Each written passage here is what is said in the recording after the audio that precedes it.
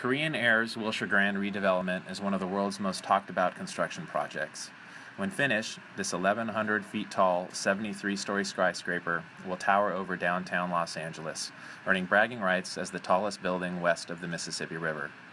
The Wilshire Grand will feature a 900 room hotel, restaurants, offices, and other nightlife attractions. This multi use tower has been shattering records and setting industry standards since breaking ground in 2012 including setting the world record for largest volume of continuously poured concrete. Another unique feature of this structure is the use of large-scale buckling restrained brace frames. Due to its height and location in seismically active downtown Los Angeles, there are many unique aspects to the design of the Wilshire Grand. One of the most interesting design aspects is the buckling restrained brace frames, commonly referred to as BRBs. BRBs are structural brace elements that consist of a steel core plate surrounded by grout and enclosed in a steel tube. The BRBs are designed to allow the Wilshire Grand to withstand lateral loading induced by an earthquake.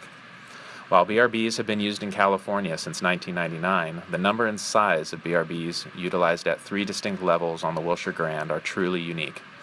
The lower BRBs span three stories from the 28th through the 30th floors, with four individual BRBs stacked at each location. The middle BRBs span a single story each on the 53rd through the 58th floors. And lastly, the upper BRBs span three stories from the 70th through the 73rd floors. Twining's inspectors have performed shop inspection on the BRBs and associated structural steel members in several shops located in two different states and also performed the inspection of the field installation of the BRBs.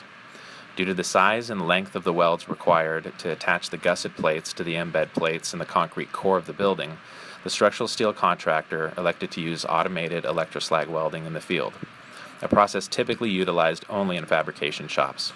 As part of the approval to perform automated electroslag welding, Twining also performed the qualification testing for the weld procedure and welders that worked on day and night shifts, often for seven days a week.